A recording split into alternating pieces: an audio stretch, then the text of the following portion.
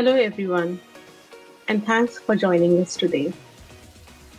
I'm Tulika Garg, Group Product Manager with Adobe's TechComm Group.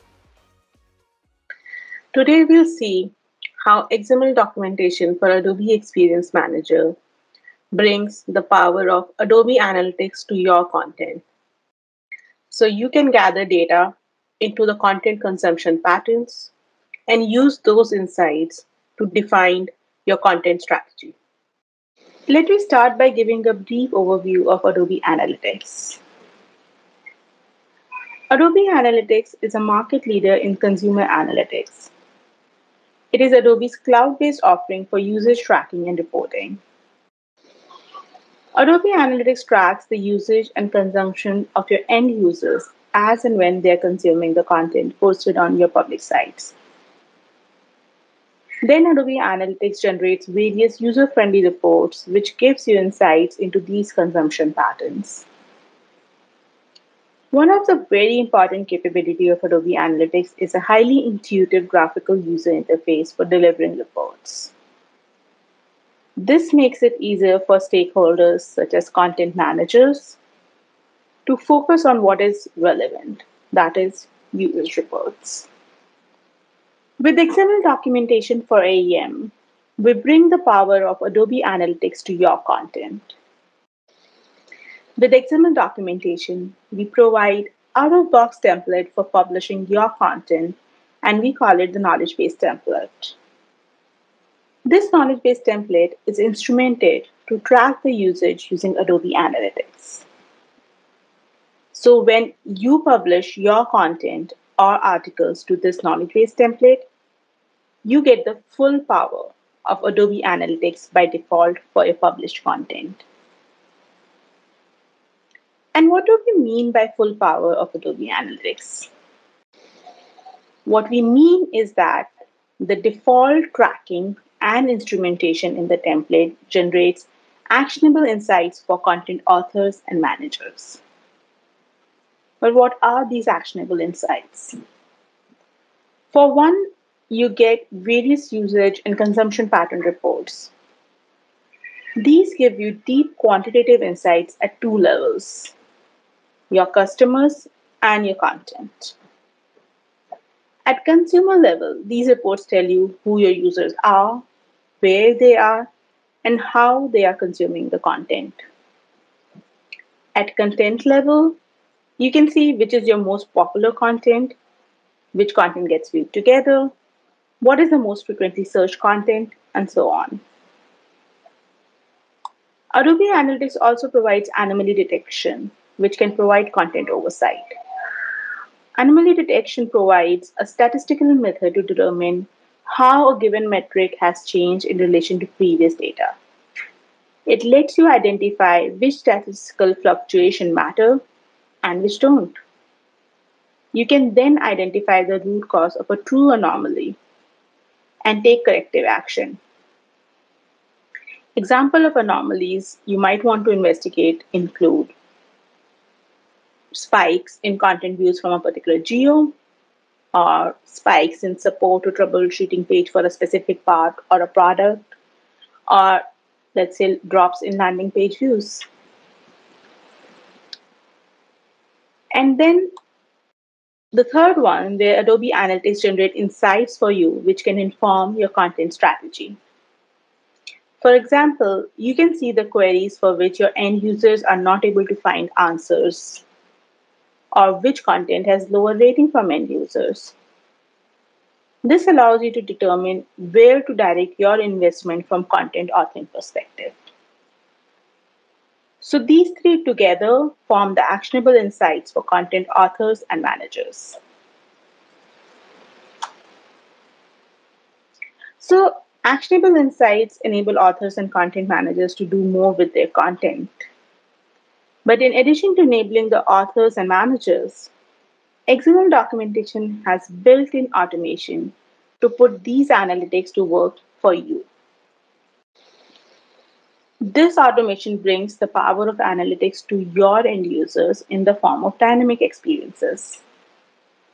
The out-of-box knowledge base template provided by XML documentation has dynamic widgets available in the template. These dynamic widgets have a reverse integration with Adobe Analytics. So they pull aggregate data from Adobe Analytics to generate dynamic content for your end users. For example, traditionally, authors might be documenting the top few documentation topics in the landing page. But with these dynamic content widgets, authors do not have to do that anymore. The dynamic widgets pull this information from Adobe Analytics directly.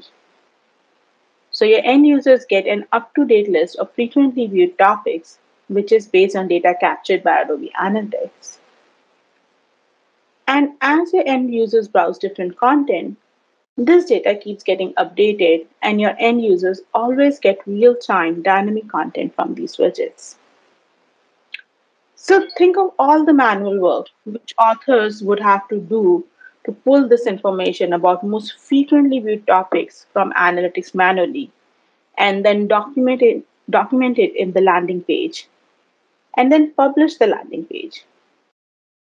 And the list of frequently viewed topics would change, and authors would have to keep doing this task repeatedly.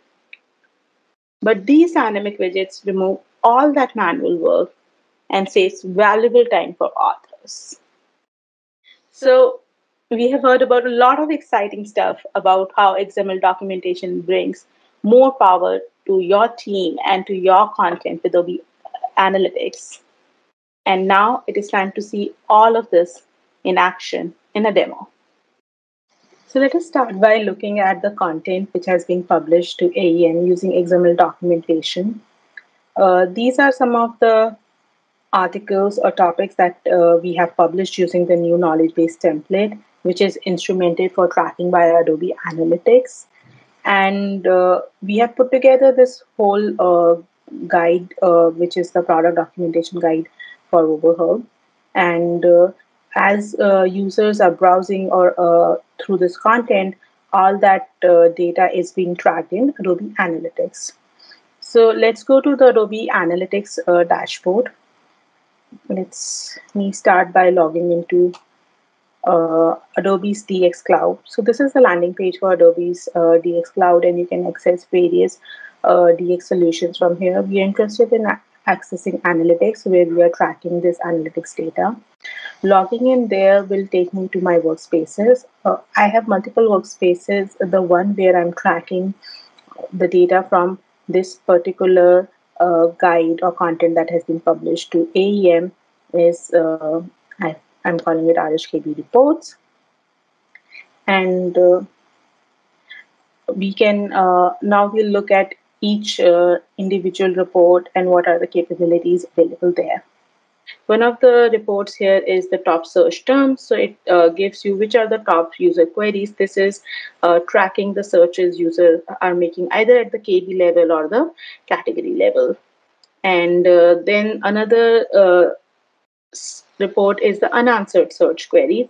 So this uh, tracks uh, the search queries for which users were not able to find any articles or any content uh, it's a very useful report so uh, to give you insights into what kind of content user is looking for but uh, you don't have content uh, available for that so it can help you define your content strategy and which content you should be creating more in your KBs.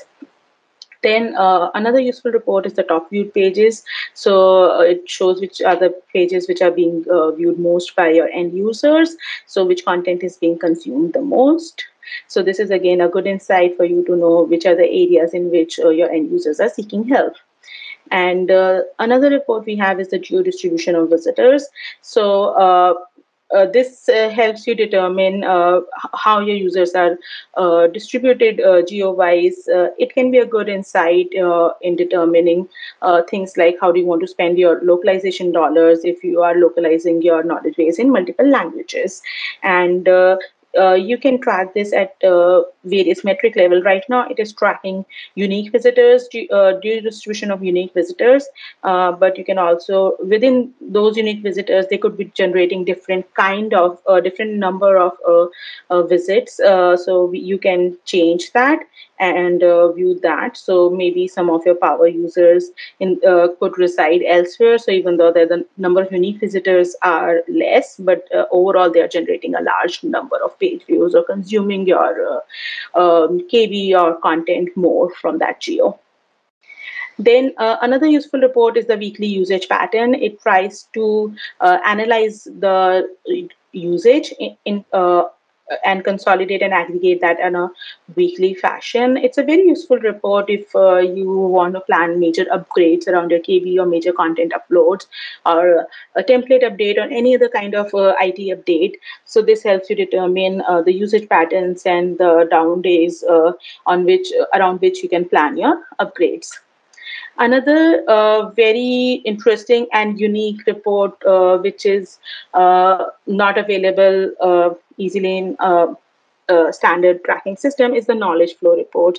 So what this report does is it tracks the flow of a user within this uh, knowledge base and how they are navigating this content and what's their entry view, uh, page and from there uh, which is the page where they view next and so what is their whole uh, navigation and then how do they exit uh, it, it's it's a good insight into how your users are consuming content most of the time the content consumption paths uh, whether it's manifesting in terms of breadcrumbs or toc or trainings or related articles, it's defined by authors. But uh, this report gives you visibility in uh, how uh, end users are viewing it. So it can help you uh, auto create uh, some related content, or if you are planning to create some uh, custom courses, putting together a number of related content where uh, end users are seeking help. So it gives you good insights into that particular flow from an end user perspective. Uh, another uh, useful report is uh, the usage pattern in terms of average time spent, and uh, you can see uh, what kind of time your end users are spending on your content, and it helps you also determine whether they are making early exits or they are not spending enough time, and what kind of content you should be creating to cater to those particular needs. Then there are some standard reports on uh, which are the browsers used by your uh, users, which are the operating systems used, and uh, the overall uh, consumption, the number of page views that your knowledge base is uh, generating over a timeline. So you can uh, this is this is a useful view to see if you uh, to detect anomalies also and to see if you are expecting any standard patterns. So let's say you did, a major major release and then you did a documentation release around that release and you were expecting that spike. So uh, you can correlate uh, the spikes to that. But if you don't see uh, spikes where you were expecting spikes, so maybe maybe you need to do a more a push or a, campaign to promote that documentation to make sure uh, people are aware of the new release and the corresponding documentation. So uh, these are some of the reports uh, that are available with this new KB template. And uh, while these reports in themselves are uh, very useful, uh, what you can uh, further do and what this KB does is it takes these reports to power end user dynamic experiences within the template. So how it does that is, uh, let me take you back to the uh, the knowledge base that we have published. And if we go back to the uh, the category level knowledge base, so uh, you can see uh, the top viewed pages. It just got populated uh, here and this is uh, not uh, static content. So this content is actually being fetched based on the top viewed pages report from here. And that is what is uh, powering this list here. So your authors are not uh, statically creating this content, but uh, it's being served based on those analytics. So it's real time and gets refreshed regularly and creates a dynamic experience for your end users. And this is just one example of uh, this dynamic widget. So uh, it, this is just to demonstrate that there is this two-way communication happening with Adobe Analytics uh, from the knowledge base. So while the uh, knowledge base uh, usage uh, is being tracked in analytics, and then that is can be used to power uh, dynamic experiences here. So top viewed pages is one. Then you can similarly uh, have when the user start typing, uh, have uh, the most frequently searched terms being pulled from the report of uh, the search report. And uh, there are uh, many other such stuff. You can have a category here based on the user's locale, so based on their geo and the this usage report can be filtered in terms of geo. So you can have a dynamic widget for uh, uh, uh, to show the top content being viewed by other users in your region so that uh, users get more uh, localized content rather than uh, the global top view pages and depending on their use case they can consume either one of those and with that we come to the end of today's session it was a pleasure showing this to you, and I hope you all have a great rest of your day. Thank you for joining.